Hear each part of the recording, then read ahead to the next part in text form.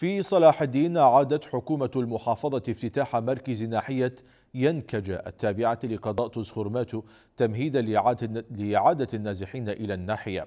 وأكد لواء الرد السريع الذي تسلم مهامه عقب انسحاب الحشد الشعبي من المنطقة أن مرحلة إعادة النازحين تتطلب ملء استمارات أمنية لتدقيق العائلات النازحة التي ترغب بالعودة لضمان عدم تسرب متهمين من العائلات العائدة. مبينا أن القوات الأمنية بدأت استعدادها لاستقبال أولئك النازحين.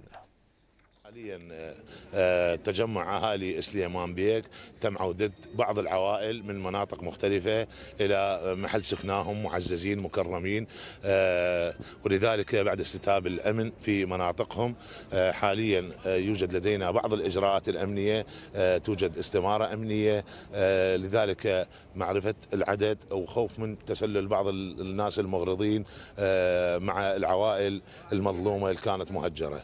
حقيقة عندنا بعض الإجراءات فقط بسيطة جدا من قبل لجنة مشكلة آه، في ناحية من كافة الاجهزه الأمنية الاستخبارات المخابرات الأمن الوطني إضافة إلى الشرطة إلى المكونات كافة الموجودة يتم تدقيق الأسامي ومن ثم آه، يثمون إلى محل سكناهم معززين مكرمين.